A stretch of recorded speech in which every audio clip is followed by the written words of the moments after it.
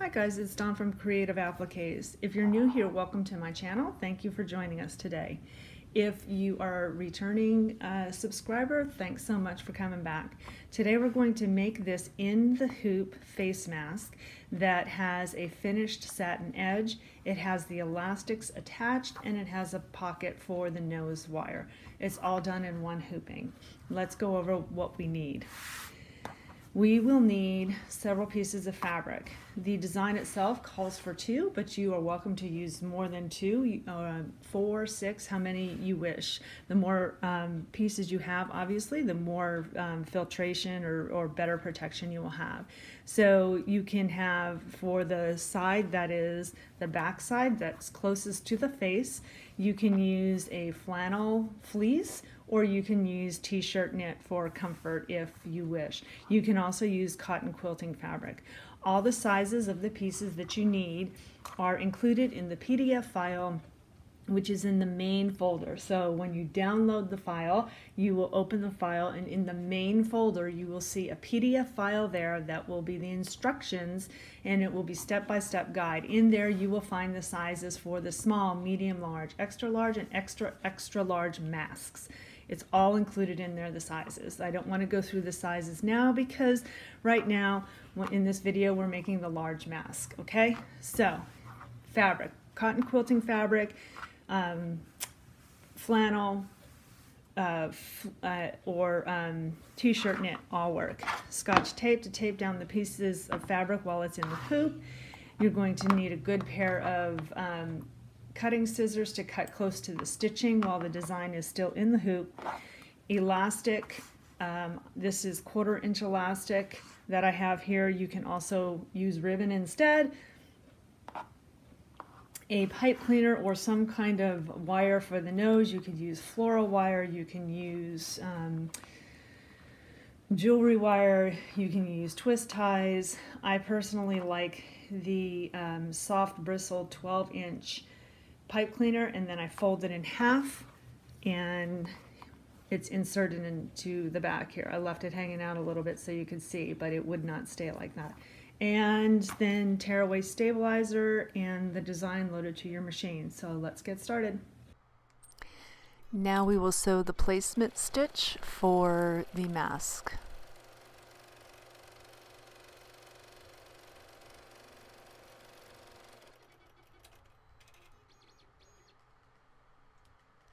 Now place the fabric on top of the stitching and we will sew that down. Now we are sewing the placement for the elastics.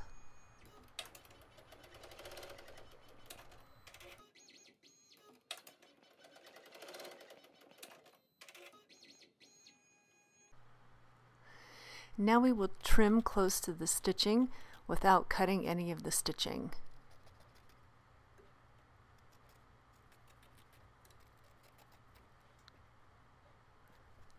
You want to trim as closely as possible.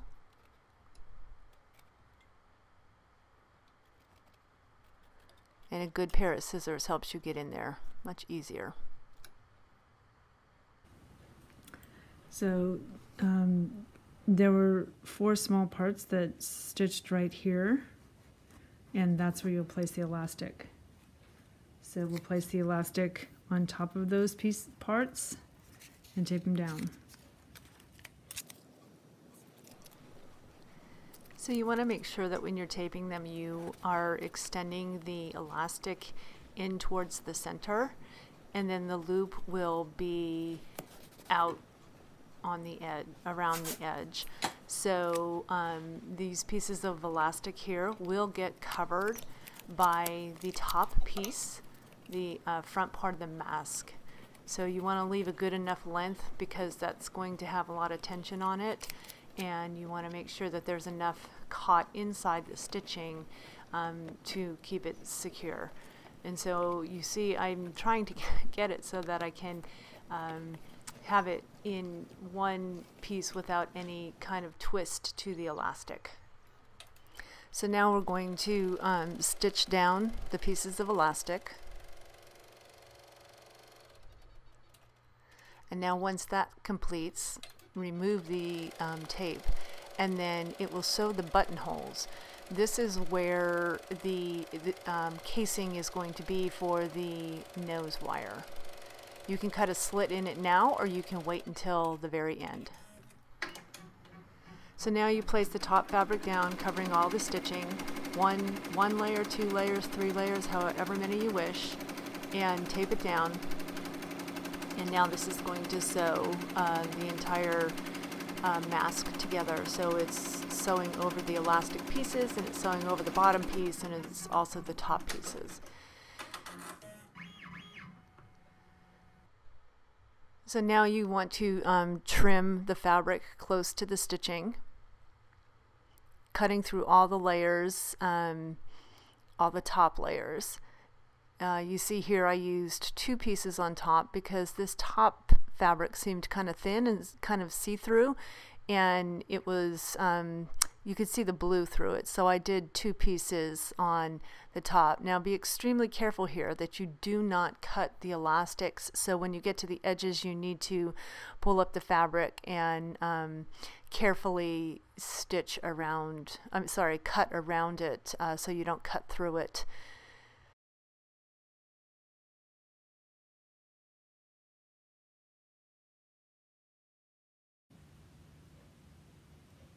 Now we're going to sew the satin stitch and the, um, the nose channel.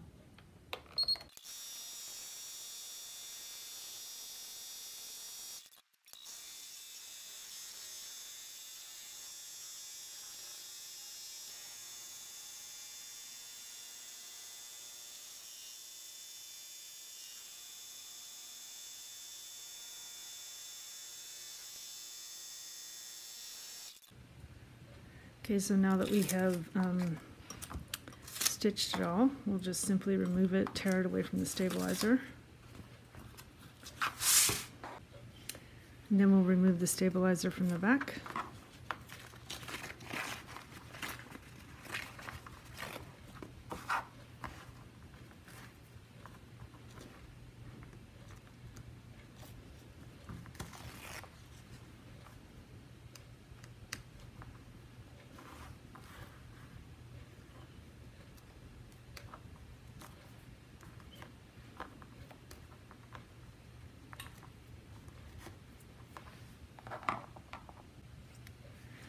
Okay, so now right here between the buttonhole, not the edge here, but between the buttonhole here, I'm going to take a little snip in the fabric and only through one layer. Okay, so kind of like bend it a little bit. You can kind of get in there.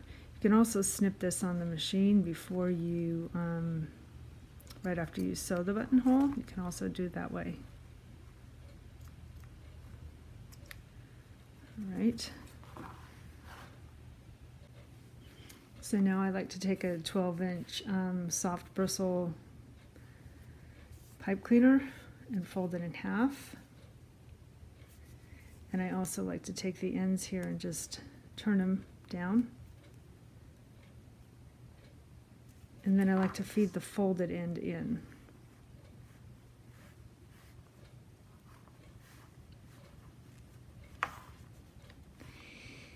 And depending on the size, you may need to snip that a little and cut that off. But there you go. It's as fast and as easy as that. I hope you enjoyed this video today. Thank you for joining me. If you enjoyed this video, I'd appreciate it if you would give me a thumbs up so I know you enjoyed the content and also consider subscribing and hit that bell.